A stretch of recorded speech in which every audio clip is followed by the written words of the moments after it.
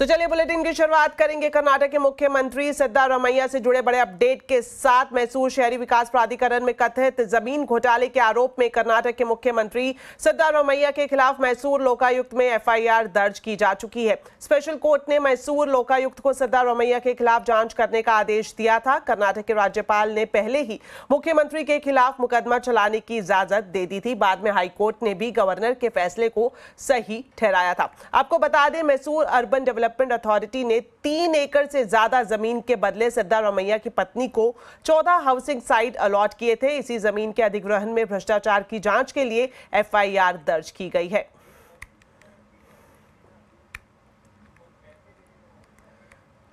चलिए अब बात करते हैं बाज़ार की। आज रिकॉर्ड ऊंचाई के बाद बाज़ार ऊपर से फिसल गया। सेंसेक्स निफ्टी गिरावट के साथ बंद हुए। सेंसेक्स दो पॉइंट और निफ्टी सैंतीस पॉइंट गिरकर बंद हुआ। डिटेल्स लेते हैं कंचन नोटियाल से। तो कंचन, सबसे पहले बताएँ आज मार्केट की हाईलाइट्स क्या रही? तो इंट्राडे में तो हमें अच्छी खासी तेज़ी देखने को मिली थी, लेकिन आज छह दिन की तेज़ी के बाद निफ्टी में एक ब्रेक लग गया है। बैंक निफ्टी की बात करी जाए तो बैंक निफ्टी में भी करीबन एक परसेंट की गिरावट आई है और आज बैंक निफ्टी 541 पॉइंट्स की कमज़ोरी के साथ 53,834 के लेवल पे जाके बंद हुआ है। अब इस कमज़ोरी के पीछे का जो सबसे बड़ा कारण आज बैंक निफ्टी के लिए बन के सामने आया है वो है HDFC बैंक HDFC बैंक ने कहीं ना कहीं बैंक निफ्टी का आज जो मूड है वो थोड़ा सा कमज़ोर साइड पे कर दिया है। अगर पर्टिकुलरली सेक्टर वाइज बात करी जाए तो mid cap small cap index में आज हमें एक फ्लैट क्लोजिंग देखने को मिली है। साथ ही साथ रियलिटी बैंकिंग और एफएमसीजी सेक्टरों में भी कहीं ना कहीं एक दबाव रहा है। लेकिन अगर हम बात करें ऑयल एंड गैस पीएससी और साथ ही साथ फार्मा शेयर की तो यहाँ पे एक अच्छा खासा अपसाइड मोमेंटम हमें देखने को मिला है। और मेटल और मेटल इंडेक्स जो है और आईटी इंडेक्स है, उसमें भी कहीं ना कहीं एक थोड़ा सा लगाट हमें देखने को मिला है। कंचन किन सेक्टर में तेज़ी और कहाँ मंदी दिखाई दी।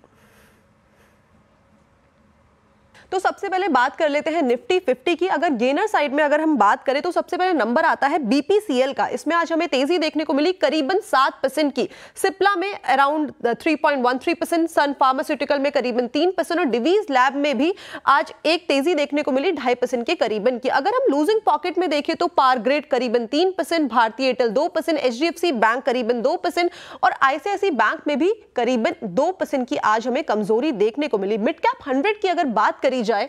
तो S J Polycab Oil India और एच आज के टॉप गेनर रहे। और लूजिंग साइड की तरफ़ अगर नज़र डालें आज तो हम, हमें Macrotech developer JSW energy Paytm और ग्लैंड फार्मा लूजिंग साइड में दिखे। लेकिन आज है वीकेंड और इसके साथ ही साथ आज एक वर्ल्ड टूरिज़्म डे भी है। तो आप अपने वीकेंड का एक फ़ायदा उठा सकते हैं और अपने टूरिज़्म की और घूमने की शुरुआत कर सकते हैं। कंचन आप हमारे साथ बने रहे जिस तरह से आपने ज़िक्र किया वर्ल्ड टूरिज़्म डे है। आज तो टूरिज़्म सेक्टर की पूरी पिक्चर आपसे समझेंगे ले, लेकिन इससे पहले आपको बता दें निफ्टी मेटल इंडेक्स में पाँच से दस परसेंट की तेज़ी संभव है। ये कहना है गोल्डी लॉक्स प्रीमियम रिसर्च के founder and chief strategist Gautam Shah का साथ ही गौतम शाह ने यह भी कहा कि बाज़ार में तेज़ी का ट्रेंड कायम रहने की उम्मीद है। देखिए, हमारा फेवरेट अभी तो मेटल्स है। आई थिंक पिछले चार पाँच महीनों से हम मेटल्स के बारे में बात कर रहे हैं। बीच में अच्छी मूव आई, उसके बाद ये इंडेक्स दो ढाई महीना से कंसोलिडेशन में चला गया और उसके बाद जब 9600 के लेवल पे एनएससी मेटल्स इंडेक्स पे जब ब्रेकआउट आया तो मुझे लगा था कि यहाँ पर हज़ार से 1500 पॉइंट की तेज़ी आएगी, माने 10 से 15 परसेंट की। और आपने पिछले तीन चार दिनों में देखा है, जिस तरह से मेटल स्टॉक्स चल रहे हैं एक फंडामेंटल एनालिस्ट बोलेंगे कि अरे चाइना का न्यूज़ फ्लो आया दो दिन पहले बट उसके हिसाब से ये मूवमेंट आ रहा है। बट चार्ट्स पे ये आई थिंक दो तीन हफ़्ते से ये प्रिपरेशन में था और लग रहा है कि यहाँ से भी पाँच से दस परसेंट की मूव मेटल्स इंडेक्स में आ सकती है। सो so, सारे जो टॉप स्टॉक्स है जेएसपीएल जेएसडब्ल्यू स्टील नैल्को जो हमारा फेवरेट हमेशा से रहा है स्टील अथॉरिटी टाटा स्टील तो मेटल्स मेरे हिसाब से एक रिस्क रिवॉर्ड के हिसाब से अच्छा ट्रेड है और यहाँ से भी स्ट्रेंथ रहेगी financial services as a theme हमें हमेशा से ही अच्छा लगता है और जिस तरह से एनबीएफसी सब निकल के आ रहे हैं जिस तरह से एचडीएफसी बैंक में मूवमेंट रहा है मुझे लगता है कि बैंक निफ्टी भी धीरे 55 धीरे धीरे 55 500 तक चला जाएगा तो IT FMCG sorry banks FMCG, pharma, chemicals and metals. These would be our top five picks right now. तो बाज़ार नए शिखर पर है। बाज़ार को कौन कर रहा है ड्राइव और आगे के लिए क्या है ट्रिगर आज आवाज़ अड्डा में इसी पर करेंगे बड़ी चर्चा शाम सात बजकर सत्तावन मिनट पर।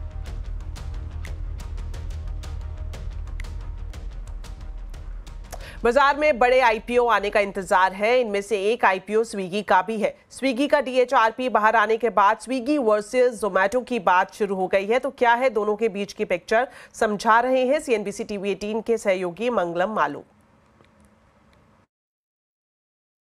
आपके प्लेट और आपके पेट के लिए कंपीट करती स्विगी और जोमेटो अब आपके पोर्टफोलियो के लिए भी कंपीट करेंगे। क्यों? क्योंकि अगर आप देखें तो सेबी ने पास कर दिया है स्विगी की आईपीओ की अर्जी को। इसका सबसे बड़ा बेनिफिट यह हुआ है कि स्विगी की जो कॉन्फिडेंशियल डीआरएचपी थी, वो पब्लिक हो गई है। तो हम कंपेयर कर सकते हैं दोनों स्विगी और जोमेटो को। तीन अहम चीज़ें। सबसे पहली कि स्विगी की जो फ़ूड बिज़नेस का कारोबार है, वो टर्न अराउंड स्टेज पे है और वो यहाँ से ग्रो करेगा।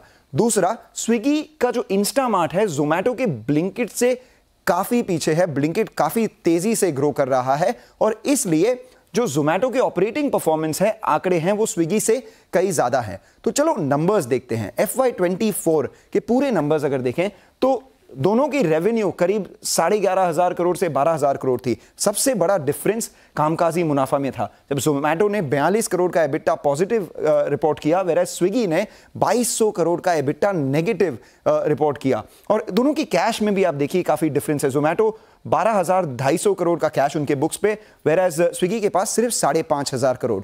फ़र्स्ट क्वार्टर के नंबर्स अगर आप देखें तो स्विगी स्टिल एबिटा लॉस कर रहा था साढ़े पाँच सौ करोड़ के आसपास, तीन हज़ार करोड़ की रेवेन्यू जोमैटो चार हज़ार दो सौ करोड़ के रेवेन्यू पे करीबन पौने 200 करोड़ का एबिटा पॉजिटिव रिपोर्ट किया और 250 करोड़ का net profit as against Swiggy का 600 करोड़ का लॉस इस वजह से दोनों के कैश बैलेंसेस में भी काफ़ी डिफरेंस आ गया। जोमेटो का कैश बैलेंस साढ़े बारह हज़ार करोड़ बरकरार रहा, थोड़ा बढ़ा और स्विगी का पाँच हज़ार करोड़ से दो हज़ार करोड़ हो गया। अब दोनों के इंडिविजुअल बिजनेसेस को देखें अगर फ़ूड डिलीवरी का बिज़नेस देखें जोमैटो के फ़ूड डिलीवरी बिज़नेस ने लास्ट ईयर ही एबिटा प्रॉफिटेबिलिटी अचीव की थी। तो आप देखें तो करीबन 6.9 परसेंट उनका कंट्रीब्यूशन uh, मार्जिन था फ़ूड बिज़नेस में वेर एज स्विगी का सिर्फ़ 5.72 परसेंट था। उन्होंने एबिटा में करीबन 47 करोड़ का लॉस रिपोर्ट किया था वेर एज जोमैटो ने 912 करोड़ का पॉजिटिव नंबर रिपोर्ट किया। फ़र्स्ट क्वार्टर में लेकिन स्विगी का जो फ़ूड बिज़नेस है, वो टर्न अराउंड होते दिखा हमें। एबिटा पॉजिटिव 60 करोड़ के आसपास आ गया वेर जोमैटो ने 300 करोड़ रिपोर्ट किया। और आप देखते हैं इस बिज़नेस में जैसे ही एबिटा थोड़ा सा बढ़ता है, उसके बाद काफ़ी तेज़ी से इजाफा होता है। वो देखना सबसे ज़्यादा इंपॉर्टेंट है। कॉन्ट्रीब्यूशन मार्जिन स्विगी का 6.4 परसेंट वर्सेज जोमैटो 7.3 परसेंट अब सबसे बड़ा वैल्यूएशन ड्राइवर इन कंपनीज़ के लिए क्विक कॉमर्स बिज़नेस हुआ है, जो स्विगी का इंस्टामार्ट है और जोमेटो का ब्लिंकेट अगर आप देखें तो एफ़ वाई के एंड में दोनों के पास करीबन सवा पाँच एक्टिव डार्क स्टोर्स थे। उसके बावजूद ब्लिंकेट का सेल्स साढ़े बारह हज़ार करोड़ था वेरस इंस्टामार्ट सिर्फ़ आठ हज़ार करोड़ था। इससे सबसे बड़ा फ़र्क यह पड़ा कि ब्लिंकेट का जो कंट्रीब्यूशन मार्जिन है, वो दो परसेंट हो गया और स्विगी का जो क्विक कॉमर्स बिज़नेस है, फिर भी लॉस करता रहा। कंट्रीब्यूशन उनका नेगेटिव सिक्स परसेंट है और इसका डिफरेंस सबसे बड़ा हमें फ़र्स्ट क्वार्टर में दिखेगा। ये छब्बीस का जोमैटो का 600 साढ़े छह सौ एक्टिव ब्लिंकेट स्टोर्स हो गए और उनका टारगेट 2000 का है मेरे स्विगी का करीबन 525 से सिर्फ़ साढ़े पाँच इजाफा हुआ स्टोर, एक्टिव डार्क स्टोर्स में। और ये रेवेन्यूज में भी दिख रहा है। क्रॉस ऑर्डर वैल्यू स्विगी की फ़र्स्ट क्वार्टर में सिर्फ़ सत्ताईस करोड़ थी, जबकि जोमैटो की ब्लिंकिट की ये बढ़ गई करीबन पाँच करोड़ के आसपास with contribution margin at four और स्विगी की अभी भी नेगेटिव माइनस ही है। अब ये देखना पड़ेगा कि स्विगी डार्क स्टोर को कितना बढ़ा सकती है? क्योंकि उनके जो सैंतीस करोड़ का फ्रेश इशू है, उसमें से हज़ार करोड़ उन्होंने एलोकेट किया है इंस्टामार्ट के डार्क स्टोर्स को बढ़ाने के लिए। और इसीलिए हमें देखना पड़ेगा कि स्विगी को वैल्यूएशन मल्टीपल क्या मिलेगा। अगर अभी देखें तो ढाई लाख करोड़ के जोमैटो के मार्केट कैप में करीब 12 टाइम्स दो ईयर फॉरवर्ड सेल्स पे वो ट्रेड कर रहा है। मुझे लगता है स्विगी में 25 से 35 परसेंट का डिस्काउंट होगा उस मल्टीपल पे। तो देखते हैं जोमैटो और स्विगी के वैल्यूएशन में क्या डिफरेंस होगा? देखते हैं मार्केट में किसमें कितना है दम। अब आप किसी भी डिवाइस से और कहीं से भी अपना favourite Hindi business news channel CNBC Awaaz देख सकते हैं। इसके लिए डाउनलोड करें सी सीएनबीसी टीवी 18 की एप्लीकेशन जो कि मौजूद है गूगल प्ले स्टोर और एप्पल प्ले स्टोर पर। अब business news market inside expert analysis और साथ ही आपके इंटरेस्ट की कस्टमाइज न्यूज़ फ़ीड भी आपके फिंगरप्रिंट पर उपलब्ध होगी। तो अपने मुनाफा ऑन द गो जर्नी को कीजिए स्टार्ट और डाउनलोड करने के लिए इस वक्त आप स्कैनर देख सकते हैं अपनी टीवी स्क्रीन पर।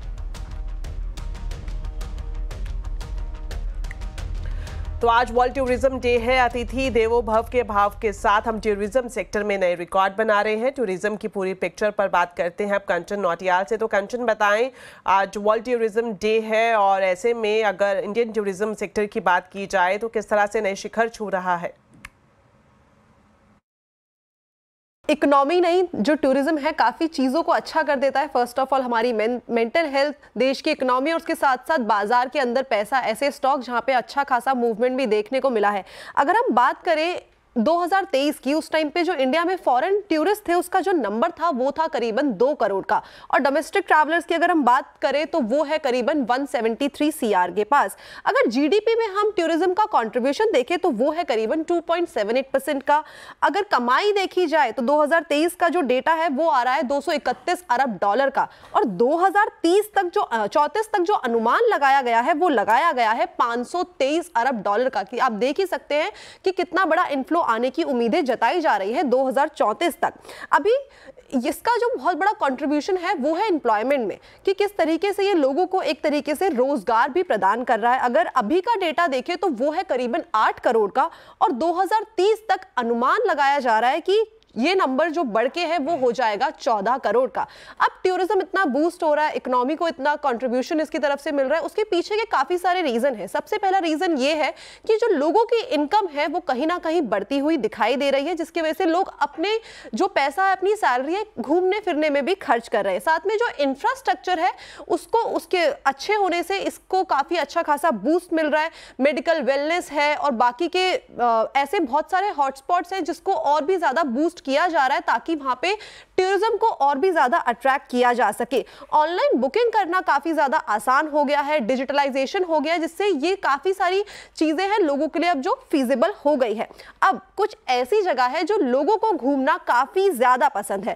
कश्मीर हो गया, हिमाचल हो गया, उत्तराखंड हो गया, यूपी, अयोध्या की अगर हम रिसेंटली देखें तो कितना इन्फ्लो अयोध्या के चलते आया है, इंडिया के अंदर लद्दाख और गोवा तो लोगों का ऑल टाइम फेवरेट है ही। अब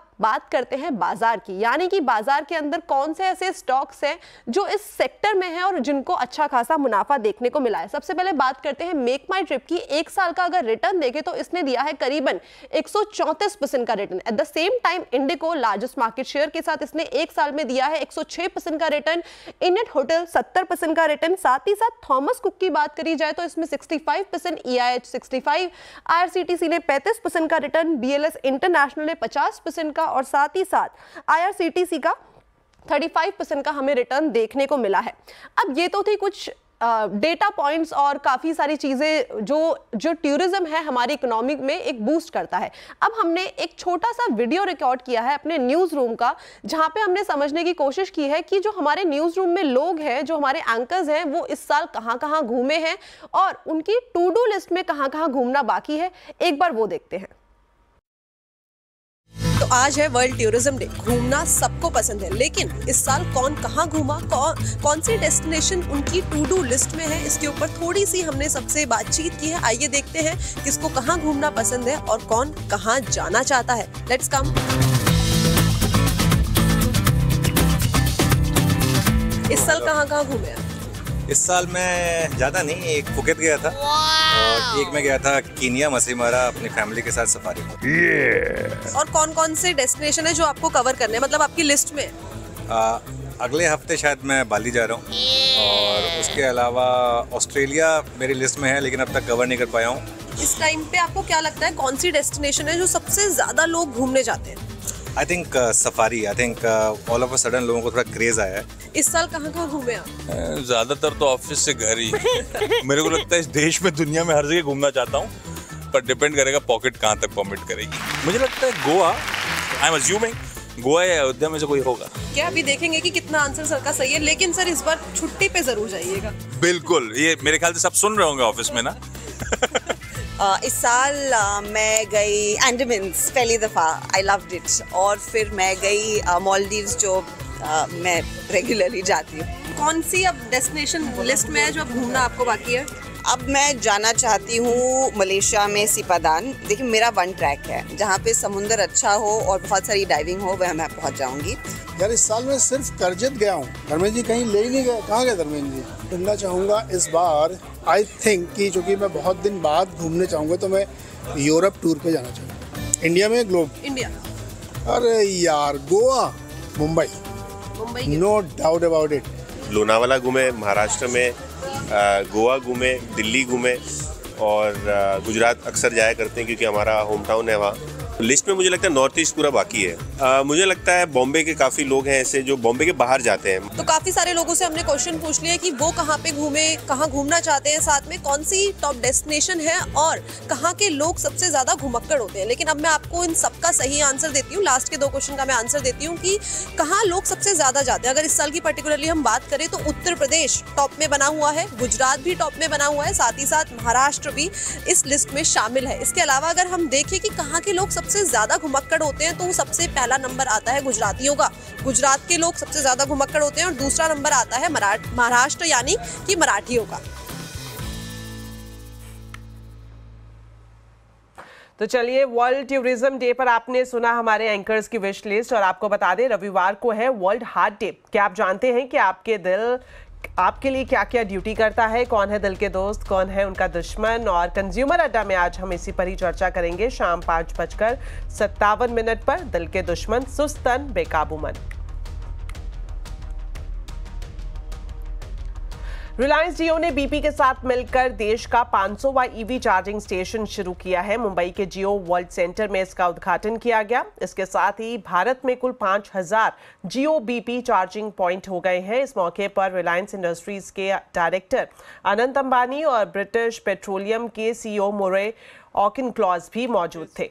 Sri Anant Ambani and Mr. Mariakin Klaus to unveil the logo celebrating this milestone.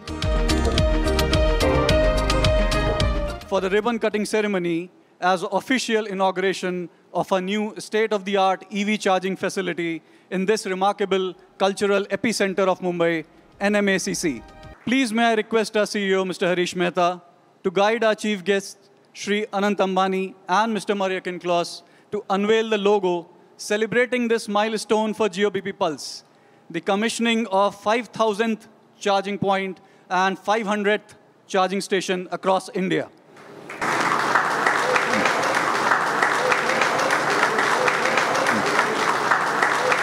Three years back, we started our journey to decarbonize the transport value chain in India.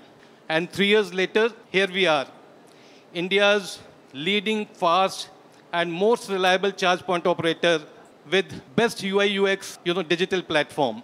I think a partnership with BP for transformative energy is a crucial point for India. We at Reliance and with my father's vision, we are focusing to create a change in India's energy sector by creating the biggest uh, green energy sector in India. In India, with the transport industry, with cars and buses moving forward, I think we at Geo uh, BP are forefronting this. We've got this fabulous uh, 5,000th charge point and 500th location. That's really hard to say. Um, but it's amazing the progress with which you're making. Um, India is, by any regards, the fastest growing energy nation in the world, and we couldn't be luckier than to have a strong partner like Reliance uh, to move forward with this. Now we move on to inauguration of our EV charging at this significant facility.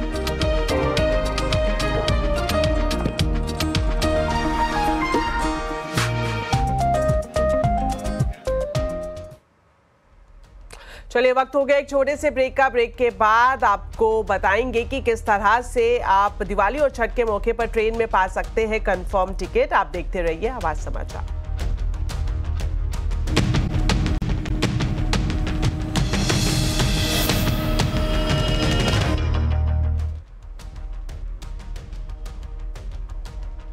Break के बाद आपका स्वागत है। दिवाली या छठ पर घर जाने के लिए अब ट्रेन में वेटिंग टिकट की टेंशन नहीं करनी होगी। रेल मंत्रालय इस फेस्टिव सीज़न 200 से ज़्यादा स्पेशल ट्रेनें चलाने जा रहा है। 6 अक्टूबर से लेकर 30 नवंबर तक स्पेशल ट्रेनें चलाई जाएँगी।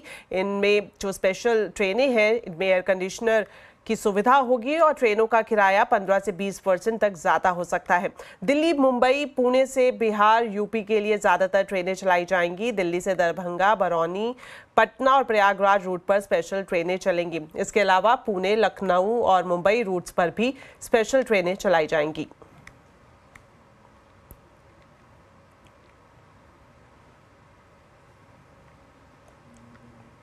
ई कॉमर्स कंपनियों की सेल शुरू हो गई है और जल्द ही फेस्टिव सीज़न की भी शुरुआत हो जाएगी। लोकल सर्कल के सर्वे के मुताबिक इस सीज़न में शहरों में एक लाख पचासी हज़ार करोड़ रुपए का कारोबार होने का अनुमान है। सर्वे के मुताबिक शहरी इलाकों से सबसे ज़्यादा शॉपिंग होगी। तेरह परसेंट शहरी लोग शॉपिंग के लिए ई कॉमर्स का इस्तेमाल करेंगे, जबकि सत्तर परसेंट लोग अपने नजदीकी रिटेल स्टोर से ही अपना सामान खरीदना पसंद करेंगे। सर्वे में इस बात का भी ज़िक्र किया गया है कि दो में से एक घर इस त्योहारी सीज़न में दस हज़ार रुपए खर्च करेगा। लोग पूजा का सामान गिफ्ट आइटम्स पर खर्च करेंगे। साथ ही सर्वे के मुताबिक 40 परसेंट लो, लोग होम डेकोरेशन का सामान खरीदेंगे जबकि अठतीस परसेंट लोग ब्यूटी प्रोडक्ट्स पर खर्च करेंगे।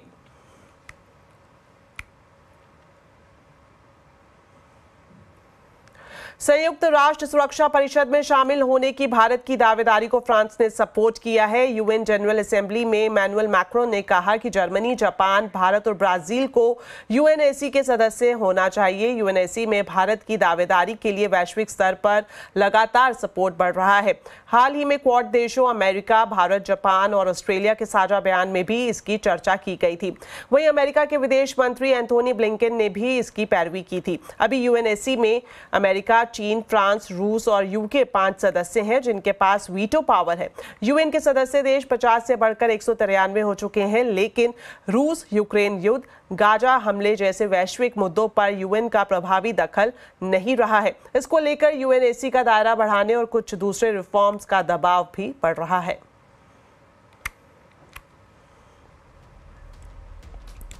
तो चलिए मेरे साथ इस बुलेटिन में इतना ही। आप खबरों पर अपडेट रहें सीएनबीसी आवाज़ से जुड़े रहें हमारे सोशल मीडिया हैंडल्स के ज़रिए। नमस्कार।